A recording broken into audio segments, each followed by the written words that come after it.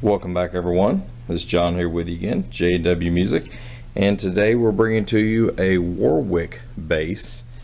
Uh, this particular bass here was brought in to us for uh, string change, you know, just kind of a basic setup, intonation, uh, all of that. So that's uh, brought in, but just thought that we would show everyone some of the items that seem to come into our shop as far as for repair setup, uh, different things like that. What people have in our area and want to show. Now this is a mid-scale bass. Um, this guy here is uh, about 32 inches um, in length uh, compared to some of the 34 and 35 inch scaling. So this is considered a mid-length.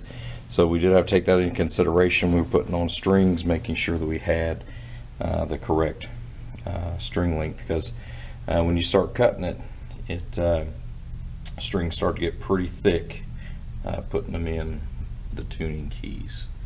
But uh, like I said, this is the Warwick Corvette and just shown here and the gentleman still has uh, his stickers on there kind of annotating where everything is. So you have your volume, balance, treble, and bass. So like I said, it says Corvette two band electronics and the EMC uh, pickups there. So just kind of showing the way those are so you can tell what style of bass it is by the pickups. And on the headstock, it just says Corvette and it says rock bass, if you can see that. Just uh, chrome die cast tuners. We'll go ahead and flip it around, show everyone here. and this particular model here uh, was made in China it does go for about 800 new.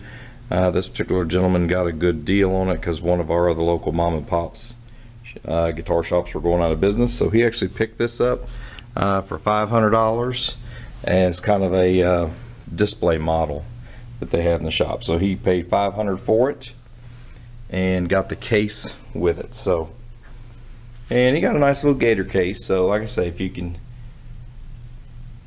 get the uh, $800 guitar or $800 bass for $500 with a case, you're doing well. And if you can tell there with the uh, the Warwicks, they don't have screws to get into the compartments. They just have little plastic tabs to pop. So that is convenient when you're trying to do something on the fly. You don't have to worry about finding you a, a Phillips head screwdriver. Just kind of pop that out. So it is a uh, kind of a three-piece neck with a little bit of uh, filler uh, another little kind of small inset of wood, but I would still call that a three piece. Maybe some people would consider those uh, small little pieces there and call that a five piece. So I guess you could do that. So however you want to interpret that, either a three piece or a five piece neck. But uh, overall, beautiful guitar, beautiful sounding guitar. If anybody's got one of these Warwicks, uh, let us know. Leave your comments below let us know how you're liking them how they're holding up for you. Now like I say this is the first Warwick that we've gotten in the shop so that's why I wanted to do a first look video just to show everybody. Uh, like I say they, they have them in our area. We're in northwest Louisiana uh, about three hours or so east of Dallas. Uh, so we're not the biggest market compared to Dallas or Houston uh, but we still get uh, some nice brand name stuff in the area like I say, even though this one is uh, particularly made in China. But uh, like I say, if anybody's got uh, one of these, you know, leave comments below. Let us know how it's working for you, how it's not, how the quality is uh, holding up, what kind of uh, genre music you play. He actually wanted this uh, tune to drop A is is how he requested to have it down. So he's playing pretty low. So let us know what kind of genre music that you play with your Warwick bass. And if you like our videos, go ahead and give us a thumbs up and share. We appreciate that interaction and telling others about, you know, our channel.